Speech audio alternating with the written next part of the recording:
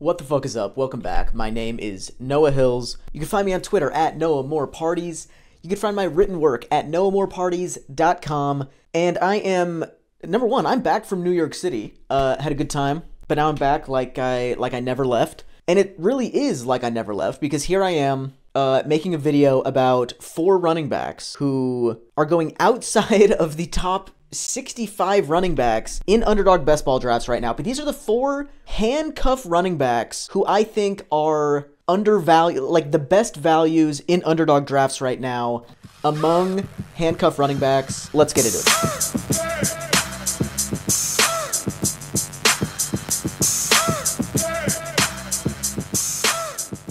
The first guy is Izzy Abanikanda.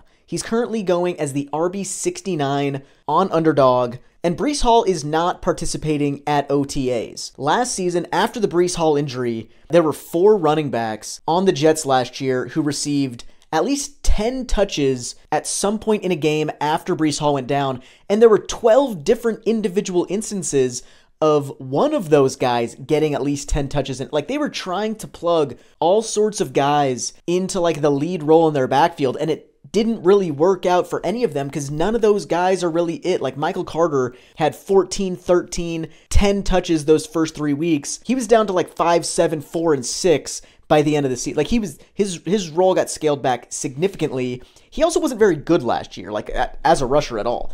84% box adjusted efficiency rating, negative 8% relative success rate. So he was incredibly inefficient incredibly inconsistent on a down to down basis relative to what the other guys in this offense were producing on a per carry basis.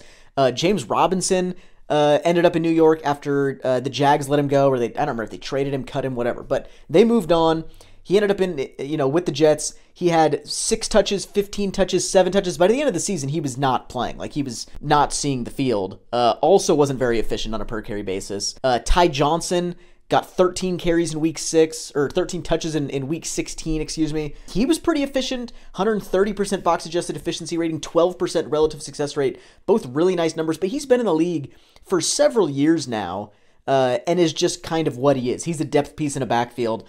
Um, and then Zonovan Knight, Bam Knight, was pretty decent last year. Like just under 100% box adjusted efficiency rating is 17, 20, 19, 13 touches in a four game stretch. They tried to plug him in. This coaching staff is willing to give work to a single guy, but none of those guys are really it.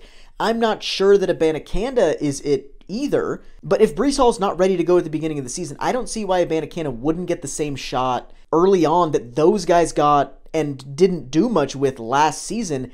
And he's currently cheaper on underdog than Michael Carter is. Like we Michael Carter is not a very good runner, at least in the NFL, lost his job last season to a collection of running backs that's not that good. Like, I don't see why we would view him as the next man up behind Breece Hall. Abanikanda seems like the guy who will get that shot to me, and seems like the guy who we should take shots on, given the upside that his, you know, speed and size and college production gives him over guys that we've already seen just kind of be dudes in the NFL. So Abanikanda is a nice value, I believe, at RB69. The next guy is Keaontay Ingram, who's being selected as the RB73 right now. I love James Conner this season in particular. I think he's set up to, to be productive and he's relatively cheap in drafts right now. But he's also a 28 year old running back who sprained his ankle, his rib, his shin, and his knee at various points in last season and missed four games last year and is currently being drafted as the RB27 on underdog. Like, people are not expecting much from James Conner. I'm expecting a little bit more,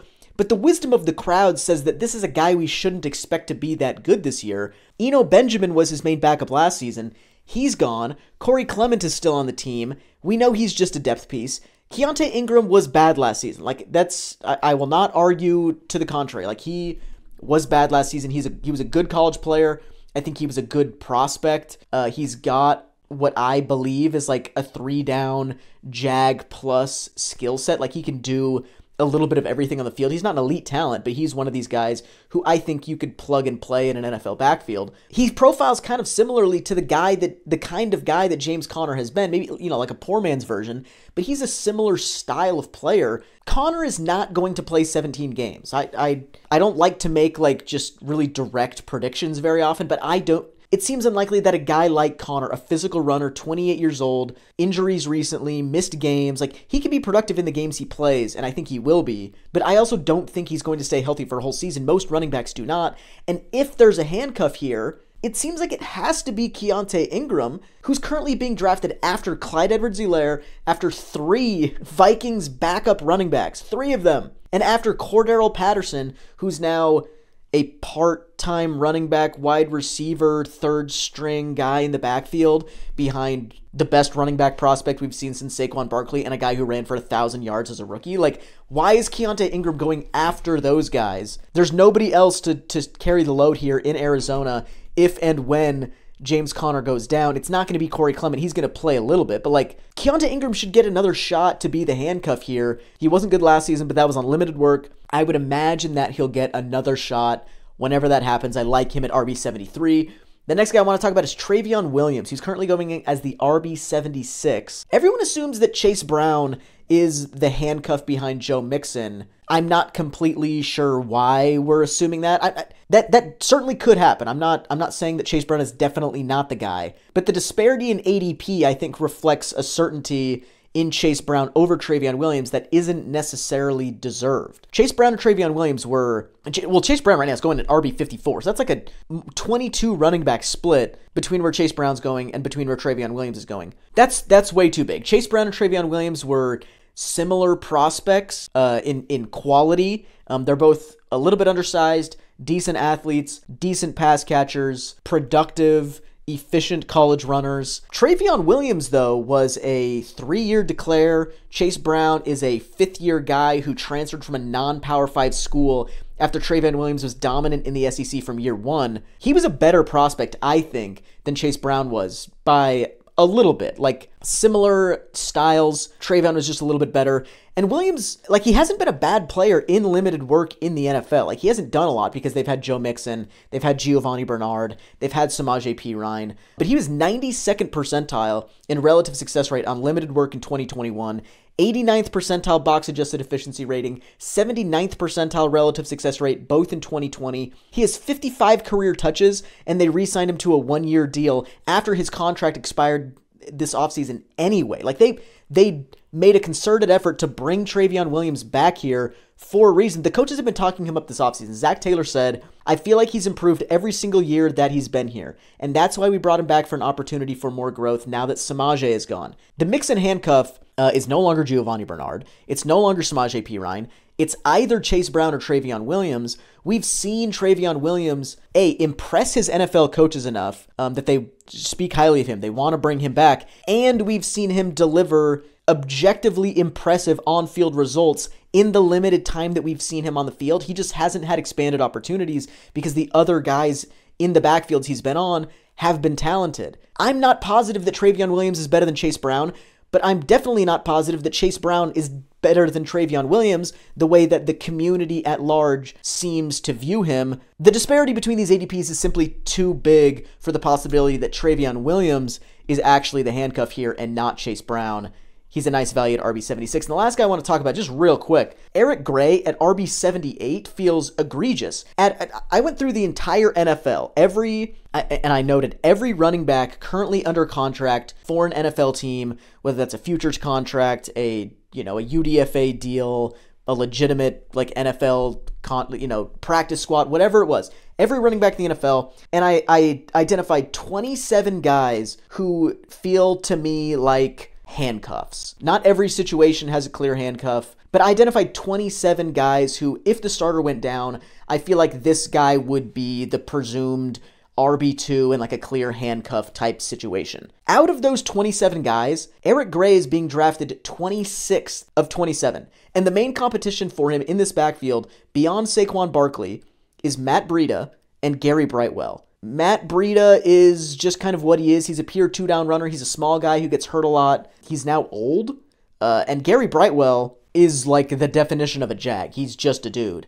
Uh, and Eric Gray is a competent three down player who is productive and efficient in the SEC, productive and efficient at Oklahoma. He catches passes, he's decently athletic. He's not very big, but he's one of these Trayveon Williams, Chase Brown type guys who can be a utility player in a backfield and can play on all three downs if a guy like Saquon Barkley goes down.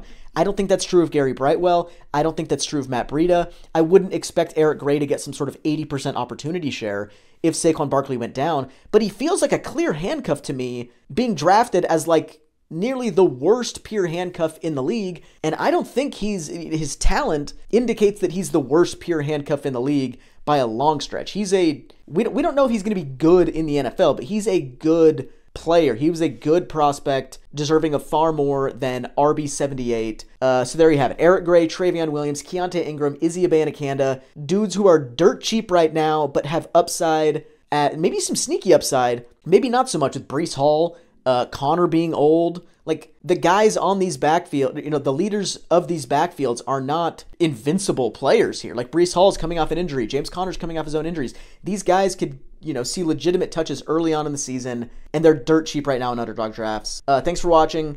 Hit like, hit subscribe. Uh, this will be my last video for about a month. Uh, this comes out, I believe, on the 31st, and I'm taking June off. Um, I've got like a week long vacation planned, going to Yellowstone. I'm also uh, studying for the LSAT, uh, so I can apply to law school at some point in the near future. So I am I'm taking the month off. I'll still be writing. The uh, this the subscription nature of my website uh, dictates that I don't stop writing. So I, I, I will be writing, but won't be making videos for the next month. See you in July. Have a great start to your summer. Peace.